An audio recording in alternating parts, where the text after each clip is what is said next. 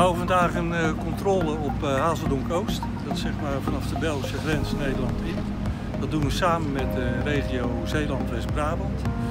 De bedoeling is om een beetje de grens dicht te zetten om mensen af te vangen die nog een boete moeten betalen. Het is op dit moment een nationale feestdag in België. En we hebben samen met de regio de zuidgrens een beetje dichtgezet. naast de boetes kijken we natuurlijk ook naar andere zaken zoals mobiel banditisme, aandachtsvestiging en dat soort zaken.